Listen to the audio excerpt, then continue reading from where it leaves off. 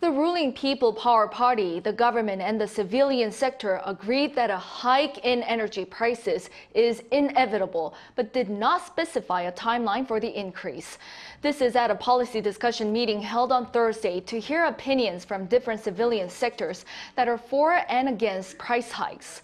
Despite differences in opinions, the parties involved together vowed to work towards making a proposal that the households, customers, and industries can all accept.